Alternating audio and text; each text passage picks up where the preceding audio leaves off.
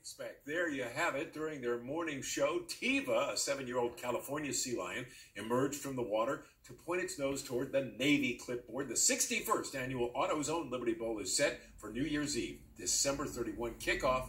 2:45 in the afternoon. And today's weather was good for an outdoor yeah. event like that. We've got some good weather coming up, as a matter of fact, for the next several days. Now, there's a chance of rain primarily late Saturday night and early Sunday morning, but most of the daytime hours this weekend will be dry. Temps in the low 50s. It's